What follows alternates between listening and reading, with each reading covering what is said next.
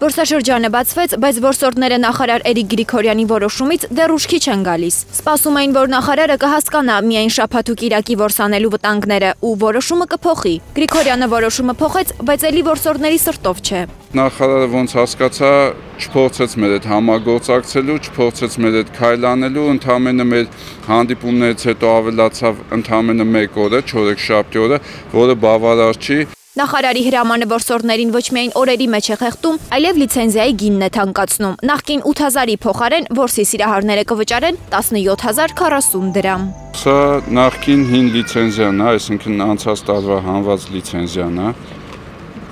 որի արժեքը 8000 դրամ է։ Սա արդեն նոր լիցենզիան է, 17040 դրամ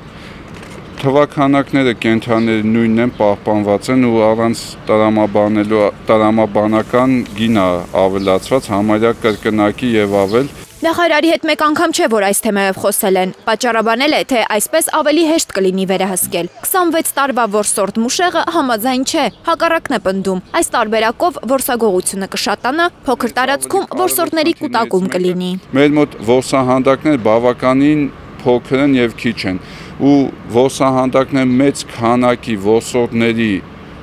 կուտակումները կարաբերի շատ վատ հետևանքներ, այսինքն դա չի բխում անվտանգությունից։ Նախարարն այս հարցին հետաքրքիր է պատասխանել, ասել է, եթե որսորդները հանկարծ մեկը մյուսի վրա կրակեն, կստանան իրենց պատիժը։ Մուշեղը պատրաստվում է որսաշրջանի վաղվա բացմանը, բայց չի հաշտվել նախարարության այս որոշման հետ։ Վստահեցնում է, իրենք որսորդներով սա այսպես չեն թողնի։